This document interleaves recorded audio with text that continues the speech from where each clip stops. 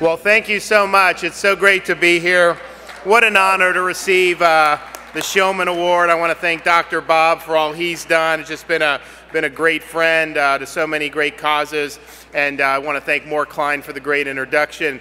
You know, Mort mentioned uh, we did this state trip to Israel uh, my first year as governor, and when I went to the Western Wall, I had to do a prayer, as many of you know, and um, I made the prayer to have no hurricanes in the state of Florida. so I put it in the wall, walked out. The media asked me what you prayed for. I told them. And um, I think most of you know at some point during the summer there was a, a little disturbance um, in the Atlantic and in the Caribbean uh, that became Hurricane Dorian.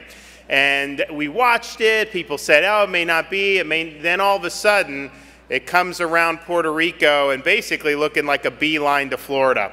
And so as that was happening, people started murmuring, oh, well, I guess your prayers didn't work, all this other stuff. Um, and so it's going, going. Obviously, it did a lot of damage into the Bahamas. But while it was going over the Bahamas, it stopped for 36 hours and spun and then all of a sudden did a 90 degree turn north and missed the state of Florida. So I don't know what you attribute that to, but I know what I attribute that to.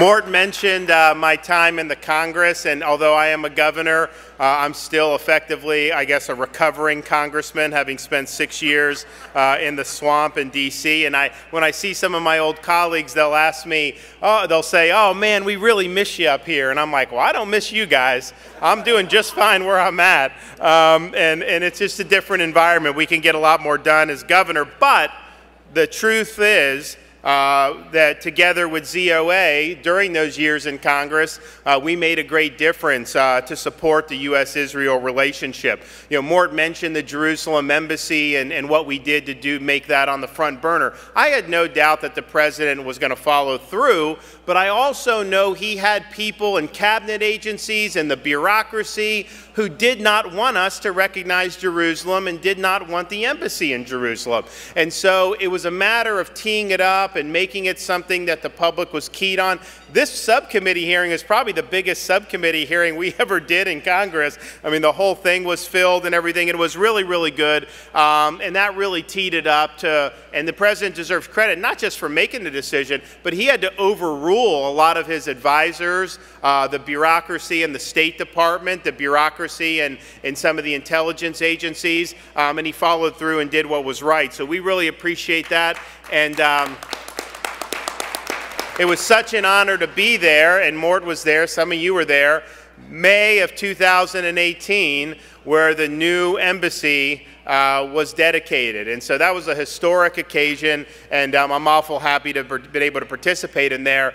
And then the following May, as Mort mentioned, I came back leading a state delegation from Florida, and we actually conducted a meeting of the Florida cabinet in the embassy in Jerusalem, which was really historic. So that was great progress, but I just think it's important to point out when we say that we recognize Jerusalem and our embassies in Jerusalem, we mean all of Jerusalem. It's the in indivisible, indivisible and eternal capital of Israel. We also helped lead recognition of the Golan Heights, as Mort mentioned. That was something that made very strategic, great strategic sense. Uh, it was the right thing to do for the U.S.-Israel relationship, and the president deserves credit uh, for, for making that decision. Again, contrary to what many of the bureaucrats wanted to be done there. When we were in Congress, uh, I felt it was my obligation to tell the truth about the Arab-Israeli conflict. Uh, the fact of the matter is the problem isn't because the Israelis are building apartments in Jerusalem. The problem is the consistent rejection by Palestinian Arabs of Israel's right to exist as a Jewish state. They pay families of Palestinian terrorists uh, when they commit acts of terrorism against Israelis. They name schools and sports stadiums after suicide bomber. There is no moral equivalence whatsoever between Israel and the Palestinian Arabs. We also had to speak out against an organization just down the road from here, the United Nations, which has become a theater of the absurd when it comes to the state of Israel. The UN resolution that they pushed through at the end of the Obama administration, 2334, that said that the Western Wall in the old city of Jerusalem was, quote, occupied territory, was really just the cherry on the sundae for the absurdity of that organization. Uh, we obviously rejected that, but I think it's important to point out the truth about Judea and Samaria. The fact of the matter is, this is not occupied territory. Uh, this was not, as Mort said, ever a Palestinian state. It was controlled by the British for decades after World War I. It had been controlled by the Turks for hundreds of years prior to that. The original Balfour Declaration had all of this land to be earmarked for a Jewish state.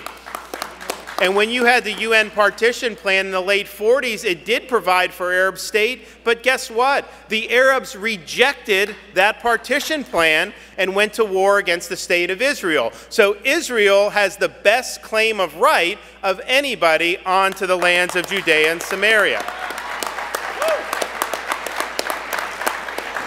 Now, I promise, as Mort said, to be the most pro Israel governor in the United States when I was running.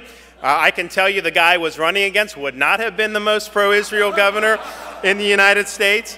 Um, and, and we, we have kept our promise on that. You know, the Airbnb situation started uh, when I was governor elect. I hadn't even taken office yet, um, but I was um, publicly uh, did the shot across the bow and said, look, this is not going to stand in Florida. And uh, I thought that they would, at that point, immediately reevaluate. They didn't. So as soon as I got into office, we added Airbnb onto the scrutinized companies list under our anti-BDS legislation and we did get change, which is very, very important. So we won that because we were willing to use our, our office and use the pressure to do what was right. And so that really started the administration off on a strong foot.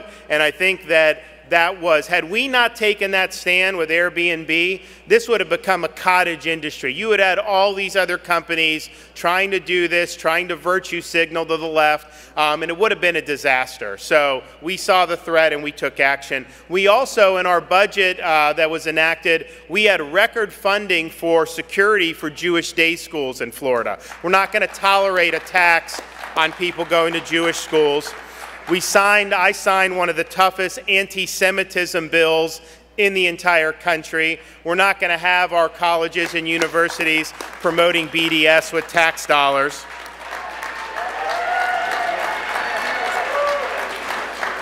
And we did, as was mentioned, lead the largest ever delegation from the state of Florida to Israel in May of 2019. We have all kinds of collaborations now between Israeli universities and Florida universities. We have a continued and expanded partnership with respect to space exploration.